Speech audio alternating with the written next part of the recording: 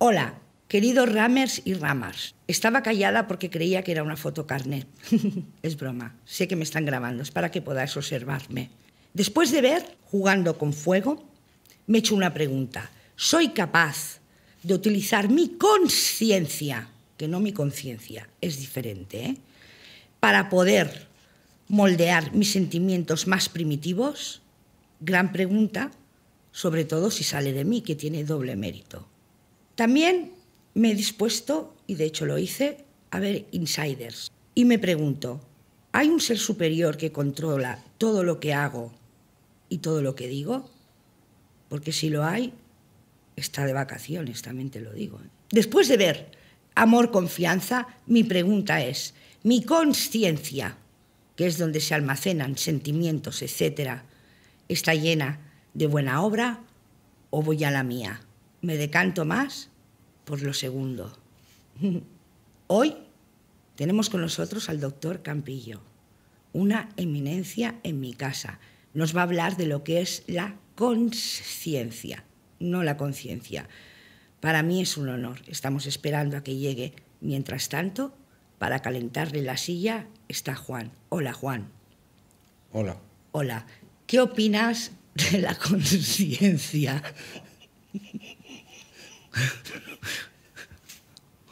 ¿Qué puedo opinar? Depende las cosas de cada uno. Vale. ¿Tú tienes conciencia? Sí, claro. Digo yo. Tendré, igual que todo. Bueno, pues vete que ha de venir el señor Campillo. Te amo, Juan. Yo también. Di, un domingo de Ramos. Un domingo de Ramos. ¿De Ramos? No, de, De Ra- Ramos, de Ah, Ramos. ¡Qué maravilla! Así es mi equipo. Ahora muy en serio, esto es una maravilla. Por favor, no os perdáis el capítulo de hoy.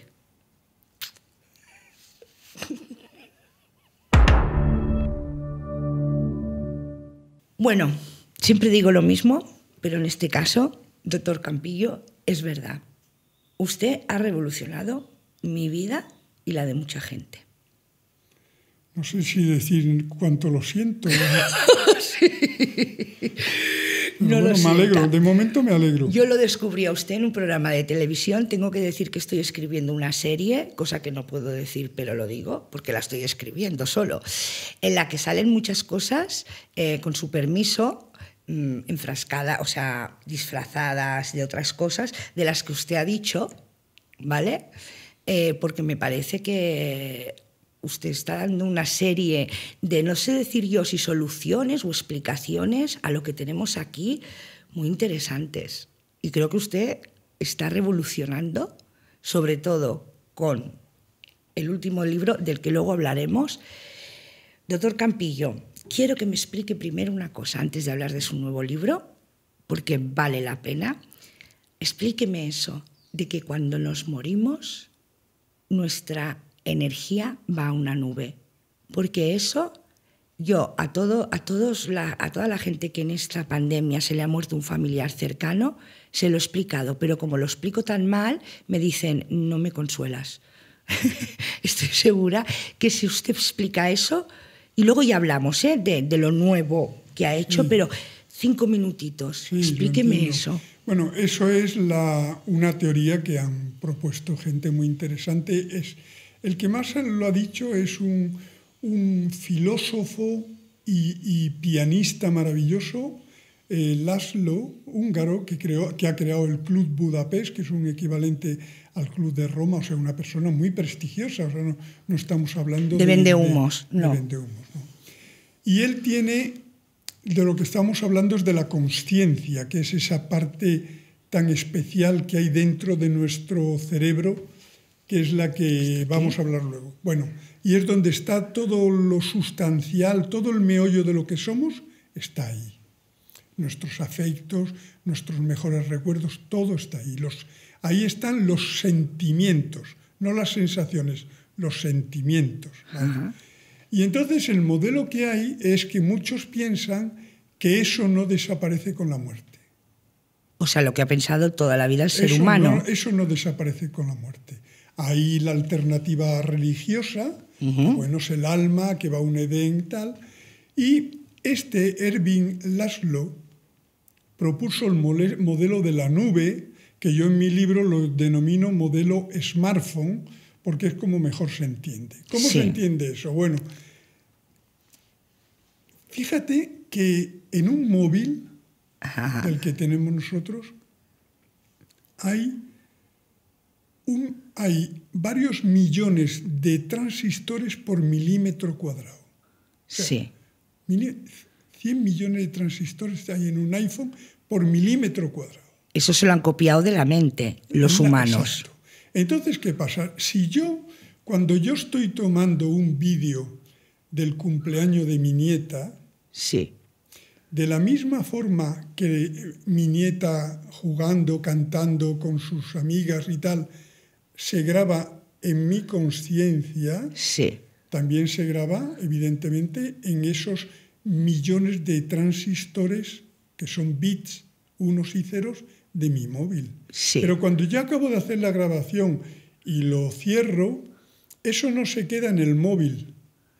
Va a almacenarse, bueno, se transforma mi nieta, la cara de mi nieta, sus gestos, sus sonrisas, las amigas, todo eso se transforma en pulsos de luz, pulsos de fotones que van por la fibra óptica, que por eso se llama fibra óptica, es decir, que la cara de mi nieta, las sonrisas, las canciones, se transforma en fotones que van por la fibra óptica o bien por ondas, que sería el wifi, y se almacenan en unas máquinas que tienen las grandes compañías, Google, Amazon, todos estos, justamente cerca del Polo Norte. Exacto, en lugares fríos. Mucho frío y tal. Y ahí está metida en unos hiceros de una máquina mi nieta, las canciones y tal. Cuando yo quiero ver el vídeo y le doy una tecla, eso instantáneamente viene otra vez en forma de pulsos, sino, sino de, de luz, de fotones de luz, a mi móvil y mi móvil lo transforma en la cara de mi nieta y tal. Bueno, eso es como opera nuestra conciencia igual. Todo eso que estás viendo va a tu conciencia. Y la idea es que eh, pasa como en el móvil, tú vas a la nube porque no te cabría toda esa información en el, en el móvil y entonces lo mandas a la nube. Pues lo mismo pasa con nuestra conciencia. Entonces la idea es que lo más sustancial de la actividad de nuestro cerebro, lo más íntimo, las imágenes de, momentos fundamentales de nuestra vida, de experiencias vitales que nos han producido sentimientos, no, no que te comas cosas, un cosas que, se nos graban, evidentemente. graban ahí. Eso no queda ahí, sino que está almacenado en algún formato que todavía no conocemos, pero hay alternativas. Hay quien habla del vacío cuántico, el Laszlo este habla del, del, espacio akáshico, que es una especie de, espacio también cuántico ahí, donde de la misma forma que la imagen esa de la nieta, está almacenada en una máquina al lado del Polo Norte en, forma de unos y ceros, en unos mino, micro nanotransistores, pues esto nuestra, está almacenado. De tal forma que cuando nos morimos, es como cuando tú, si tú tienes el, el, el móvil y un día haciéndote un selfie eh, al lado de un acantilado, que eso es muy típico, se te escurre el móvil y ah. cae ahí, se hace polvo y, y muere el móvil. Claro. Pero eso íntimo no ha muerto. Está en una nube. Si tú, te, si tú haces una, una transmigración del móvil o haces una como en el caso de lo que dicen los budistas, ¿no? que te reencarnas. Si tú te compras otro móvil, puedes reencarnar esas experiencias en el O sea, que te puedes morir, se puede morir el móvil y puede desaparecer la capacidad del cálculo del móvil, puede desaparecer ver el tiempo. pero la grabación ha quedado. Pero lo íntimo, lo sustancial de, de ese móvil no desaparece. ¿Eso se vuelve a utilizar? ¿Nuestras almas que están? ¿Para qué sirven esas almas en esa nube? Vamos a llamarlo almas o esas grabaciones. Pues eh, posiblemente, como di, eh, eh, yo, yo lo que hago, ya sabes que no, me mojo mucho, yo solo plasmo las teorías que dice la gente sin tomar partido, porque yo pienso que lo mejor es expresar lo que la gente dice y cada uno en su interior que interprete o se quede con lo que más Pero se parece mucho, perdone, doctor Campillo, a la religión, donde te ibas al cielo, nubes. se parece es mucho. una alternativa, es decir, es que es la misma. Y, en el libro este del que luego vamos a hablar hay una frase de, de, de, San Agustín, que lo escribió en el año 300 y pico de nuestra era, que es que es, es como eso, es que describe eso. ¿eh? De lo que estamos hablando. Es decir, la idea es que esa función tan misteriosa de la conciencia, que te voy a decir una cosa, ¿eh? y lo digo públicamente y no me... A, a día de hoy no sabemos ni, ni en qué lugar exactamente del cerebro se produce la conciencia. Sí, lo he visto. Ni por qué mecanismos.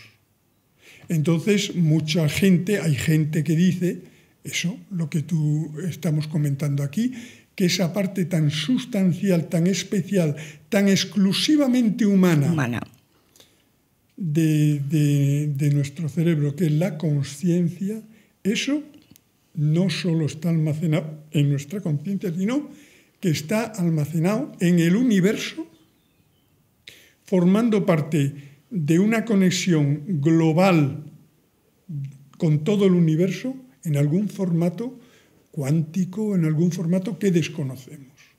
Vamos a hablar de su libro, que ya hemos hablado con lo que ha dicho. Esto me parece una maravilla. Me parece tan interesante a todos los niveles. Estamos en una era eh, faltos de la religión y faltos de creer en algo realmente. Eh, yo creo que vamos un poco perdidos. Si bien la religión creo que nos, nos moldeaba la conciencia y no era bueno porque estábamos, teníamos mucho miedo a ser castigados todo el rato, ahora en realidad de otra manera, si no llegamos a ciertos sitios, a ciertas metas, también tenemos el miedo a ser castigados. ¿Está de acuerdo? Sí, sí. Vale. Entonces, hay una cosa que le quería preguntar, de verdad lo digo y no es por hacer... Eh, no me gustaría estar haciendo ahí, em, eh, vendiendo, entre comillas, un libro que no me gustara. Lo diría una vez y ya está. Me parece que esto, además que es comprensible para cualquier persona, es verdad que hay, hay, cosas que cuestan más, pero lo entiendes perfectamente. Entonces, yo le quería preguntar a usted, yo, he hecho mucho psicoanálisis, etcétera, y leo mucho sobre la meditación, que nunca la llego a hacer, pero leo. Eh, la, conciencia se ha visto siempre desde el punto de la meditación como un observador de la mente. Y yo decía, vale, pero sí, eh, eh, por ejemplo, un asesino, su conciencia no está limpia de la maldad, por lo tanto va unida al cerebro que tiene enfermo. No es el observador limpio que decían. Por ejemplo, eh, eh, ¿Entiende lo que quiero decir? Sí, perfectamente. Separaban un, observador como si estuviera limpio de todo y fuera un observador bueno, tal. Un señor, un talibán o un, eh, la, conciencia que la consciencia que tiene es según lo que tenga en el cerebro. No, vamos a ver. Entonces ahí, hay que aclarar una cosa, Yolanda, en, en, español, en nuestro idioma, el, hay la Real Academia diferencia dos palabras con y con ciencia. Entonces, la culpa, las motivaciones asociadas a una culpa, a una sensación de haber hecho mal desde el punto de vista ético o del punto de vista... Esto es una cosa de la conciencia sin ese. Y eso no es conciencia. El asesino le remuerde la conciencia por haber matado a 18 personas con una bomba. Sí. Eso es la conciencia. ¿Y cómo es la conciencia? Por así decirlo, sería una subíndice de esto otro de lo que estamos hablando. Y luego, la conciencia es esa facultad tan especial que nos hace saber que existimos. Esto hay un problema porque la gente amante de las mascotas y tal dice, bueno, pero los animales también tienen conciencia, ¿no? O las plantas. Bueno, Habla aquí también. los animales tienen, hay animales muy inteligentes y hay incluso quien piensa que un árbol pues también tiene una cierta sensibilidad. Pero una cosa es inteligencia, capacidad de resolver problemas, que un perro o una cosa lo puede resolver perfectamente y maravillosamente. Hasta un cuervo hace cosas increíbles o un pulpo, que es también un animal que se considera inteligente. Eso es inteligencia, que es capacidad de resolver problemas, de resolver situaciones, que eso pues lo tenemos todos los hombres, o sea, los seres humanos, los animales, Eh, supervivencia. con mayor o menor inteligencia. La conciencia tiene que ver con los sentimientos y es lo que nos permite saber que existimos, saber que ocupamos un lugar, que tenemos un pasado y que vamos hacia un futuro. Pero no está separada. Aquí en este libro usted dice que está separada del cerebro. Pero sí, sí. eh, si hay un cerebro enfermo, Sí. la conciencia también Claro, será sí, enferma. Sí, pero date cuenta que lo fundamental de la conciencia, que son los sentimientos, esa persona, por muy asesina que sea, tendrá sus sentimientos que a lo mejor nosotros desde el estándar en el que nos movemos Siempre lo consideramos que no son unos in- sentimientos incorrectos. Sí. Pero su conciencia funciona exactamente igual y sus sentimientos, sus pensamientos y sus vivencias Vale. también estarán almacenadas en, la nube. en la nube esa cósmica que no sabemos lo que es. Vale. Por lo tanto, mm, por así decirlo, la conciencia es una parte del cerebro que se ocupa de las cosas que tienen que ver con los sentimientos. Con la intimidad, dice en el libro también. Intimidad, intimidad con los sentimientos. Por ejemplo, yo, yo pongo un ejemplo que es, que es muy típico, es, no sé, yo estoy jugando al ajedrez con, con un familiar mío, a lo mejor, Sí, lo y entonces eso es actividad mental, yo veo las, las jugadas que ha hecho, van a mi cerebro, van a mis archivos de memoria donde recuerdo otras partidas que he hecho, todo eso funciona automáticamente y entonces mi cerebro me da una orden y muevo lo eso y muevo una, una pieza. Eso es actividad mental. Cerebral. sí. Ahí no tiene que haber ningún sentimiento implicado bajo ningún concepto. Pero si en medio de que estoy jugando esa partida, mientras estoy esperando que el otro haga el juego, de repente en mi cerebro, ¡pum!, conecta con la imagen de mi abuelo que ha fallecido, que me enseñó a jugar. Entonces recuerdo su olor de pipa, de fumar en pipa, recuerdo eso. Eso es consciencia. Conciencia. ¿Cree que los Ah, perdón, ya acabo. Hasta lo de realizar labores, eso muchos animales lo hacen, incluso a lo mejor un chimpancé le puedes enseñar a hacer cosas y las hace y tal. Eso es inteligencia. Pero hasta el día de hoy no se ha podido demostrar, además es que no hay tamaño suficiente para imaginar que los animales o los otros seres vivos tengan sentimientos, conciencia, puedan tener vivencias sentimentales, pensamientos y tal, pues de cuando eran ternero, una vaca de cuando era ternera y acordarse de su abuela vaca. Eso no, eso no Gracias. es posible. Vale, claro, sí. Eh, ¿Usted cree, a mí, a veces se ríen de mí, a veces no, esto mucha gente se, se, se verá se verá bueno reflejada en lo que voy a decir. Eh, yo tengo creo más conciencia que cerebro. Quiero decir, creo que tengo un cerebro así y una conciencia así. ¿Cree que los artistas, la gente creativa, la gente que estamos un poquito en la luna, porque yo soy incapaz de jugar una partida de, de ajedrez, porque ya las manos del contrincante me llevarían a pensar, cuando este hombre muera, ¿de qué estarán hechas estas uñas? Uy, cuánta roña llevan las uñas. No sé qué, no sé cuánto. O sea, me voy con una facilidad ¿Hay alguna manera? Consciencia, por eso, que mi cerebro es así, soy incapaz de mirar Una- un ticket de de las Mercadona. manifestaciones de la, de la conciencia son, por ejemplo, eh, esos pensamientos que nos vienen, a lo mejor estando es así, de repente empezamos a pensar cosas o, o que nos desencadenan determinados pensamientos, simplemente cosas como pueden ser unas uñas que vemos. Es decir, fíjate la, la diferencia fundamental entre mente y conciencia, y entonces todos tenemos de todo, aunque parezcan que no, es que la mente, el cerebro-mente, siempre funciona con estímulos externos, siempre. Claro. Tiene que haber algo que tú veas, o puede ser interno, o que te duela el estómago, o, te, o, o ni siquiera que lo pienses. Te comes un pastel, te sube la glucosa, ya esa es una información. El cerebro trabaja con esos estímulos, pero la conciencia trabaja con estímulos de dentro. Por eso, mi pregunta es, la gente que somos más creativa, que podemos... A, a, todo el mundo se puede medir la conciencia. Quiero decir, hay gente que es brutal para concentrarse y utiliza más el cerebro, y hay gente más de mi estilo que anda todo el día con la conciencia. La, cre la, creatividad es mental. Ah, sí.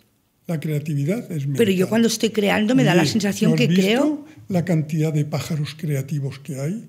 ¿Tú has visto las virguerías de nidos que hace sí, esa gente? Artística, quiero decir.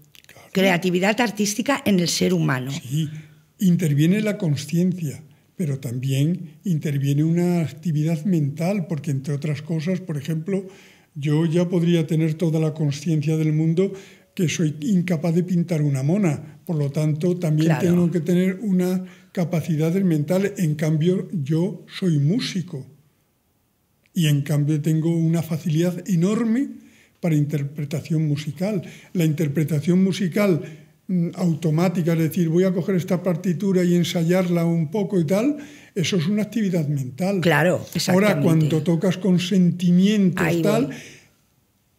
activas esa otra parte que es la conciencia. Mm. Puedes tocar maquinalmente, como tú puedes interpretar la obra de teatro que, que lleva si es la, la 200 representación y a lo mejor la mayor parte de la obra la estás haciendo casi maquinalmente, automáticamente, porque lo tienes en el, Pasa. en tal. Eso es mental. Pero a lo mejor hay un momento de arrebato en la ESO que conectas con esa otra cosa que es la conciencia y entonces te genera dentro unos sentimientos que los vuelcas O sea, fuera aparece y la- haces, pero ¿qué ha hecho esta mujer? Y vaya interpretación o vaya párrafo que ha soltado de este monólogo que tenía que decir, ¿cómo le ha salido esta vez? Porque ahí has metido conciencia. Sí. Pero puedes funcionar perfectamente Con las dos con el cosas. Ahora le voy a hacer una pregunta, doctor Campillo, que no quiero que nadie se la tome mal, pero es que la veo necesaria porque me parece tan interesante todo lo que dice. Yo tengo, yo tengo una especial adoración con los niños, por ejemplo, síndromes de Down. Me, me- me- me atrae esa, esa manera que tienen de, de no tener filtros. Son como me at- me- no lo sé por qué, y a mi hija también, ¿sabes? Y nos, nos, no es que nos atraigan como si fueran, es que lo quiero decir bien, como si fueran monos de feria, sino me, me producen una, una ternura especial, por ejemplo, o gente que es- tiene mermadas sus capacidades. Eh, ¿Cómo es la conciencia? La conciencia de ellos también. Y esta pregunta es muy delicada, muy seria y ojalá la sepa hacer bien para que nadie se ofende. ¿Cómo es la conciencia de alguien que tiene mermada la capacidad del cerebro en principio? Digo síndrome de Down, como que ahora incluso creo que no se llama Te lo vas así. a responder tú mismo con una pregunta que te voy a hacer. ¿Qué? ¿Qué pasa con todos los vídeos maravillosos de familiares y tal que tú tienes en el móvil si el móvil se te estropea? Que, que ¿Que se van a la persisten? nube. No, Ah, persisten en la sí, nube. sí. Si arreglas el móvil. Es decir, en el libro yo hablo que una de las cosas que más me satisfacen al haber puesto lo de la teoría de smartphone o teoría de la nube de la conciencia es que da sentido a la conciencia de gente que bien de nacimiento o bien adquirido tienen mermadas sus facultades mentales, porque lo fundamental de la conciencia y de las cosas que han vivido, aunque entre comillas, el terminal lo tengan estropeado, lo sustancial de sus vivencias está guardado ahí. Buah. Es decir, yo pienso que un niño, una niña, con, que tiene, por ejemplo, pues un, una merma de nacimiento Sí. mental y que le cuesta tal, sus vivencias que han pasado, aunque no la haya, que ha pasado por su circuito, sus vivencias de, de cuando hizo, eh, tuvo el cumpleaños de no sé qué, la fiesta que organizó, su primera comunión, todo eso que lo vivió, que le, le hicieron la tarta, que todo eso lo vivió, aunque nos parezca, todo eso, según esa teoría, eh, que ha pasado, aunque no lo, tiene el terminal estropeado y no lo ha podido percibir como lo perciben Todo eso otras sigue personas, existiendo. está en la nube. Se parece mucho al O lo alma. mismo que pasa con las personas que tienen demencia senil. Exacto. No pierden, el terminal se estropea, pero es que eso está almacenado, según dice esta teoría, en donde sea, y esa persona cuando se muere y tal lo va a recuperar. Madre mía. Ah, cuando se muera lo va a recuperar. Claro, es que al morirte, tú cuando te mueras, tú, según la teoría esa, esto se lo come quien sea, moscas, gusanos gordos, que se lo comen toda esta carcasa, y, y- y entonces lo que pervive en esa, en esa entidad acásica o, vacío cuántico, o hay muchas teorías, pero de gente que no te puedes imaginar eh, lo importantísima y lo seria que es. Sí, sí, En sí, otro sí, de- pues de entonces usted me lo recuperas, lo recuperas. Es la alternativa. Los religiosos dicen, bueno, eso lo, recupe- lo recuperas porque vas al cielo y ahí en el Edén pues recuperas todo eso. Bueno, pues esta otra alternativa es que recuperas eso otro mediante pues supuestos mecanismos cuánticos en algún lugar donde está todo eso y lo recuperas de alguna forma. Uf, es que a mí me parece lo que, yo no sé, las chicas y chicos que tengo aquí, ¿os está flipando? Hay muchas, hay muchas pruebas y muchas... Hay, hay verdaderamente ya muchos estudios, pero ya, ya lo hemos hablado antes, muchas de estas cosas son cosas de los últimos 10 o 15 años. Pero yo creo que no, que lo que está diciendo es exactamente lo que decían en otras palabras. Sí, en pero ahora se está pudiendo demostrar. Vale. Y cuando a mí me dice la gente, vamos a ver, eso que cuentas tú es una fantasía, un rollo Bueno, patatero, sí, como diría alguna el- nieta mía, un sí. rollo patatero que no se lo puede creer señor nadie. del bar que no Y digo, estudia y opina. entonces yo le pregunto, ¿tú crees en esa magia de que cuando tú vas a entrar en un supermercado las puertas se abren solas? Sí. Ah. ¿Tú crees en la magia de que yo ahora mismo hago así y puedo hablar con mi hija que vive en Chile a 12.000 kilómetros? Sí, claro. me lo pues creo. lo han dado hecho, sí. ¿Tú, te, ¿Tú sabes que las mismas matemáticas y la misma física que permite esas dos cosas son las que justifican esto? Claro. ¿Te vas a lo de las vas a crear creer en lo de que las puertas del supermercado se abren y no te vas a No, creer claro, esto? exactamente. Por lo menos mantén un poco de duda, Sobre una todo. duda razonable que es lo que tenemos que hacer. Tampoco tenemos que creer a ciencia cierta. Yo no digo si creo o no creo, yo lo he puesto ahí y ya cada uno pues que vea eh, la cuestión como le dé la gana. Pero la idea que plantean esta gente con la teoría smartphone de conciencia es que todas nuestras vivencias íntimas no se quedan aquí, sino que están almacenadas en algún lugar y que las recuperamos cuando desaparezca todo esto y lo único que nos quede es la conciencia, que quedará allí. La conciencia es moldeable. Antes hablaba con una de las compañeras del equipo, yo le decía, yo me he pasado por un desprecio que me han hecho o me ha parecido a mí, o sea, que he utilizado toda la conciencia del mundo, todo el fin de semana llorando y ella me decía, pues yo en el trabajo también tuve un, un maltrato, porque los hay. Eh, ¿Se puede moldear la conciencia para que esas cosas no nos mermen, no nos hagan infelices? Pues sí, sí, sí. Y, y darles por culo, un po perdón, doctor, a quien se cree poderoso con los que somos humildes y normales y de repente hagan con nuestra conciencia como hacía Charlie Chaplin con el mundo en aquella película, ¿sí? ¿Se acuerda? Sí, sí, sí. Eh, Hombre, puede ser que mantengamos a la conciencia calladita y que nadie nos la toque. La clave se llega a la dominación, a la dominación de alguien o de masas o de eso llega por dos motivos. A nivel mental, al nivel que mental, pues con los castigos, las torturas, las privaciones o lo que sea. Pero ¿cómo hacer nosotros para que y nadie... a nivel conciencia también se puede manipular la conciencia. No, no, eso lo sabemos, la compañera y yo. Pero digo, nosotras, el, el agredido en ese momento, puede hacer que la conciencia se caiga un rato y decir, no, tú eres sí. fuerte, nadie te puede herir a estas Mira, alturas. Hay, hay, en el libro lo pongo, hay tres, hay más, pero hay tres maneras fundamentales que nosotros tenemos, vamos a poner, no, tres o cuatro maneras fundamentales por las, cuatro, por las cuales nosotros podemos no solo entrenar nuestra conciencia, sino aliviar problemas que nos causen esto. Son, primero, drogas. Ah, esas están bien, ¿eh? Hay drogas potenciadoras de la conciencia. Toda la cosa está de la Pero no nos vamos a drogar cada vez que no, no, yo voy, a, voy, voy diciendo. Mí me gusta ir no, voy, a ir, no, voy ir diciendo todas las opciones. Yo digo todas las opciones que hay. No digo me parece que sean maravilloso malas, y estamos pero, aquí para decir la verdad. Pero, pero es que la gente. De hecho, yo lo, lo alivié así, no es Pero mentira. es que la gente no, pero es que la gente puede entender una cosa. Mira. Sí.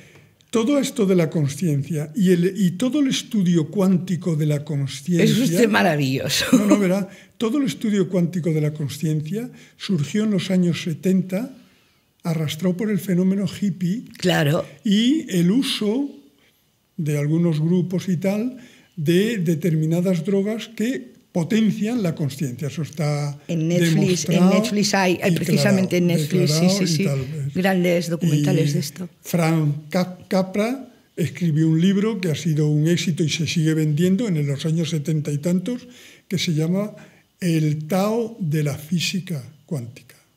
En segundo lugar, la meditación. Eso es lo que nos hace yo. La meditación es, un, es uno de los procesos que más eh, modifican y estructuran y esto es la conciencia. La meditación, además hay unos estudios de sí, monjes, sí, sí, en monjes tibetanos que mandó la Dalai Lama a, a, laboratorios en Estados Unidos y allí los pusieron en estado de conciencia. No, no, es la bomba, se bueno, ve. Hay un mundo, la conciencia. Y en tercer lugar, la oración. Que viene a ser como la meditación. Que es una forma de meditación dirigida. En la meditación se basa en suprimir toda la actividad cerebral, mental, cerebral, cerebral, para que quede solo la de la conciencia y potenciar eso. Y los grandes meditadores, o que se están horas e incluso días meditando y tal, eso es una cosa tremenda. Y luego la oración, la oración es una, una especie de... No, ya, no hablo, es... ya no hablo en hablar de no. que es la Virgen, no, eh, la oración, incluso oración a, a, al cosmos, al universo, a, a, lo que quieras, es una, es una especie de meditación dirigida en el cual lo mismo aplacas la, el ruido mental, mental, y diriges tu mmm, conciencia hacia una cosa que te interesa. Fíjate, ahí pongo yo que hay, hay de la misma forma que tiene esto efectos tremendos. Por ejemplo, hay muchísimos trabajos de investigación muy serios que demuestran los efectos beneficiosos incluso para la salud de la meditación y de la oración. Han hecho estudios los americanos como en la supervivencia, por ejemplo, uno de los estudios, en la supervivencia de operaciones tras infartos y problemas cardíacos gravísimos, la tasa de supervivencia es mayor en aquellos en los que hay personas que están rezando por su curación que en los que no. Hostia. Hombre, la interpretación científica de eso no es que sea que haya un santo que intercede. Quizá atribuyen a que se crea, dicen, una energía mental y esa energía mental procedente de nuestra conciencia focalizada a un punto, pues puede tener sus efectos. Hay muchos estudios muy serios que demuestran que nuestra conciencia puede actuar fuera del cerebro. Hostia. Bueno, solo hacías tú de pequeño. ¿Tú has jugado al parchís? Sí. Y que cuando no te salía el 5, ¿qué hacías? ¿Le hablabas al dado o no? Que salga el 5 o no. No, no lo hago Luego, estaba, luego eso estabas tú intentando mediante tu mente Yo tengo casos fuertes. influenciar, influenciar el dado. Bueno, pues hay unos, una- un, labora- un departamento en la Universidad de Princeton Sí. que lleva muchos años con ese proyecto de investigación, incluso ha, ha repartido or- unos ordenadores aleatorios, 70 tiene por todo el mundo, que captan, son capaces de influenciarse por la actividad de la conciencia colectiva mundial. Se altera el... Ellos están aleatoriamente ceros y unos al 50%, 0, 1, 1, 0, 0 al 50%. Sí, y cuando sale un si- pin. Y si hay alguna cosa que global de la conciencia que les influencia, se altera eso. En la página web de ellos tienen la curva pum, que para con las torres gemelas. Torres gemelas, y sí, sí, eso, eso. Y el último trabajo de esos, que lo pongo en el libro, es un trabajo, un estudio de la Universidad de Berlín del año 2019, publicado en una revista fenomenal, en la cual ponen un ordenador que tiene imágenes relacionadas con el tabaco, imágenes en contraria al trabajo, al tabaco, paisajes maravillosos. Sí, sí, lo que han metido, los sesgos de- sí, sí, sí, sí, en Entonces, el ordenador. Eso, eso es, ese ordenador tiene un programa que emite, proyecta las imágenes al 50%. O sea, aleatoriamente salen las mismas imágenes con tabaco que las mismas imágenes Mm. sin tabaco. Y entonces ponían a un fumador o a un no fumador al lado del aparato sin tocarlo y dice concéntrate en tabaco o concéntrate en no tabaco. Y cuando se concentraba en tabaco. Cuando tenías los del tabaco al lado del ordenador, el 65% de las imágenes eran de tabaco. Eso está publicado en una revista buenísima. o sea, telequinesis, lo que decíamos, la, telequinesis. la de- mente es capaz de influir. Ah, y, y- y lo que pasa es que muchas cosas de estas no se han podido investigar todavía porque, fíjate tú, esto antes se investigaba con artilugios mecánicos. Por Se ejemplo, ponía- tenías un aparato que tiraba así un dado, Sí. y, pero, eh, y ahora ya al tener aparatos cuánticos son más sensibles al parecer a esto. Y por ahí van los tiros. Ay, que tenemos que acabar, pero yo estaría... ¿Sabes que tengo ganas de llorar? Me ha pasado con dos personas. Con Silvia Congos, no, que es una Dios. psicóloga, pero de llorar... Todavía me estoy riendo de tu última película, hombre, no me vayas a hacer la, pero la de faena. llorar de esperanza y de... Usted es un pozo de esperanza, doctor. Hombre, eso- Yo me enamoré de usted la primera vez que lo vi y, y- y estoy tan contenta de que exista. Hombre, muy bien, yo estoy encantado de estar aquí contigo, ya te digo, yo soy fan tuyo, ¿eh? ¿De Yo te verdad? sigo, sí, sí, Pues sí. me gusta mucho Me ha sorprendido la- el acento de Cornellá que ha sacado Porque soy película. catalana. Ya lo sé, ya lo sé. Pero sí, hombre, te he visto muchos Ay, programas. Y eso doctor, sí. le amo. Todo lo que explica creo que es esperanzador. Ya lo verá. Yo Esto se llama así. Yo, si quieres, cuando tú quieras, yo estoy aquí contigo. Por favor, para- hagamos un podcast para hablar de las lo- preguntas que nos hagan, porque es que me parece tan importante su figura. Le voy a decir algo, aunque luego nos encontremos en la nube, que tarde muchos años usted irse a la nube. Y todos. Se lo dije a Resines Sí, sí. y se lo digo a usted. Esto es del editorial ARPA, ¿no? Es maravilloso. La conciencia humana, yo creo que no sé los que vendrán, pero he tenido podcast con, con- no quiero despreciar a ninguno, pero lo que usted da, creo que lo da poca gente. Es un comunicador, un estudiador del cerebro humano y, y voy a llorar, eh, creo. Y además me ha dicho, ¿sabes lo que me ha dicho? Que me compre tres gallinas rojas porque dan huevos. Sí, sí, ponen huevos y a veces de dos yemas, ¿eh? Sí, muchísimas. Sí, sí, la mía Es usted maravilloso. Doctor, estoy muy contenta. Yolanda, yo también. Yo quiero que otro día, cuando usted quiera, esta es su casa, cuando usted le he venido del apetezca. fin del mundo, pero antes de irme a Badajoz, digo, paso por Madrid. Muchas Y gracias. me veo a Yolanda. Un día hablamos de la depresión que tiene cada cosa, de la depresión que telita eh, también. Es que es, es Pues que tiene mucho que ver con eso. sí, por favor, no lo digo, no, yo, yo no cobro nada con esto.